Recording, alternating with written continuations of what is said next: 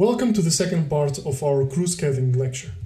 In this video, we are going to discuss how can we formulate the crew pairing and the crew assignment problems following the discussion that we did have in the previous video lecture. Let's start with the crew pairing problem, recapitulating the goal of the problem. The problem consists in choosing the minimum cost set of pairings that cover all flights in our schedule once and only once. Given that some crews can only operate a given aircraft type, particularly the cockpit crews, this problem is normally solved separately for each aircraft type.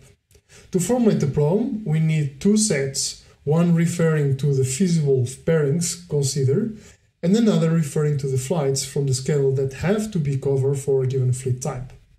The decision variables, xp, are binary, being equal to 1 if a given pairing p is chosen from the set of pairings, and zero otherwise. We also need to know the cost associated with each pairing and information about if a given flight is covered by a pairing P or not. The standard problem can be formulated as we see in this slide. The objective is to choose the pairings that minimize our costs. So our objective function is the minimization of the sum of the costs associated with each pairing. If we select one pairing P, the decision variable will be equal to 1 and the respective costs will be headed in our objective function. In terms of constraints, we only have one set of constraints that force that every single flight in the schedule is covered once and only once. That's expression 2. As discussed in the previous video, the cost of each pairing can be computed as the maximum between the sum of the duty costs, a given function of the time away from the crew base, and a minimum guaranteed payment. To this, we should add the layover costs.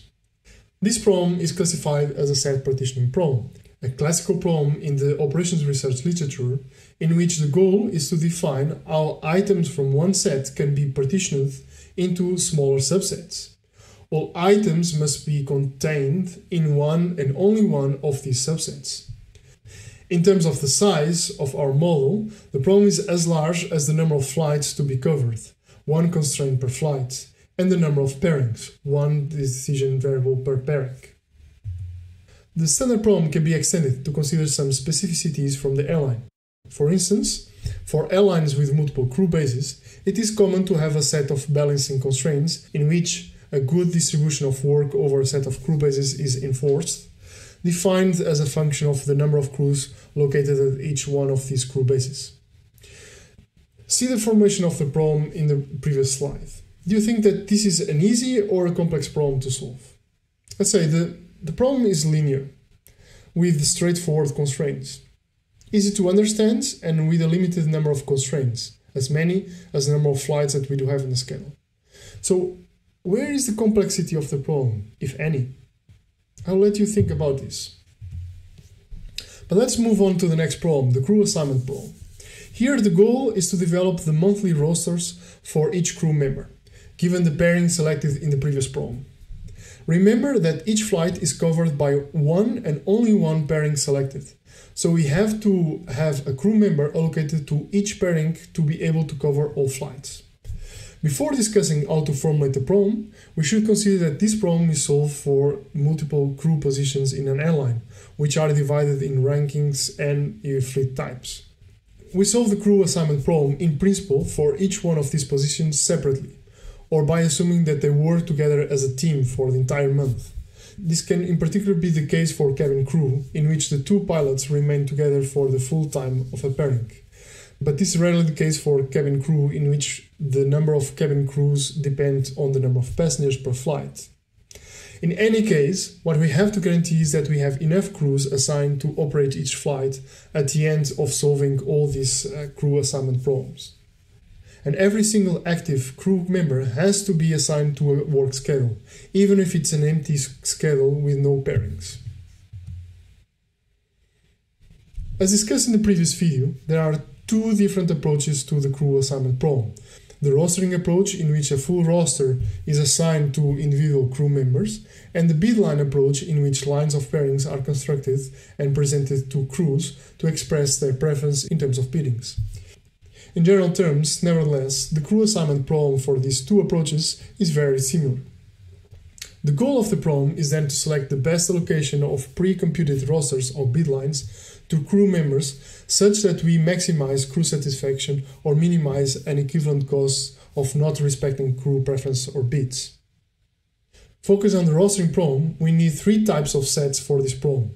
The set of crew members being considered, the set of feasible rosters built and presented to the crews, and the set of pairings to be covered.